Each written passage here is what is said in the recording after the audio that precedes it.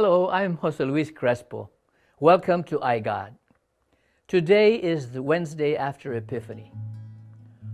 What are you afraid of? I'm afraid of getting on a plane and giving up control. I don't make this fear of mine obvious. I get on a plane seemingly calm, but I really don't like how I feel when I get on a plane. Most of the time, I get on a plane and I'm flying for hours over some big body of water like the Pacific Ocean on our way to Manila. If that's not bad enough, I don't like the feeling that if something catastrophic should happen, I can't do anything except leave matters in God's hands. In today's gospel, after feeding the 5,000, Jesus sends his disciples on a boat to precede him to Bethsaida. So Jesus is left alone on shore, and after praying, he notices the disciples' boat being tossed about in the wind, which was blowing against them. So, what does Jesus do? He waits.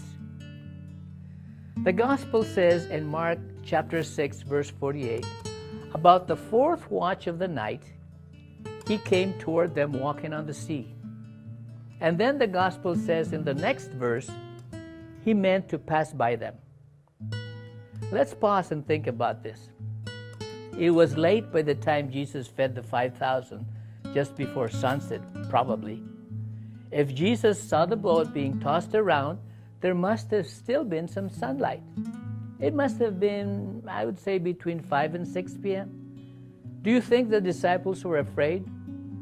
So Jesus lets more than nine hours go by, and after the fourth watch of the night, which is between 3 a.m. and 6 a.m., he decides to walk on the water, just meaning to pass them by. So he let them suffer in fear for their lives and then walks by them just to say hi? We might ask, what was he up to? So the disciples, all of them terrified by now, finally get Jesus by the boat. And the gospel account continues with the point of all of these incidents in Mark chapter 6, verses 50 to 52. But at once he spoke with them Take courage, it is I. Do not be afraid. Let us pray. Father, I know you love me because you sent your only Son to redeem me. I will endeavor to love my neighbor as you love me, so that we may bring your love to perfection in us and no longer be afraid. I ask this in your Son's name, Jesus Christ, who lives and reigns with you and the Holy Spirit, one God, forever and ever. Amen. If you find these daily meditations helpful, please share them with others. And if you would like to partner with us in this endeavor, please consider supporting us for as little as $1 a day to ensure that these messages continue to reach a world hungry for the Word of God all around the world. Thank you very much, and God bless us all.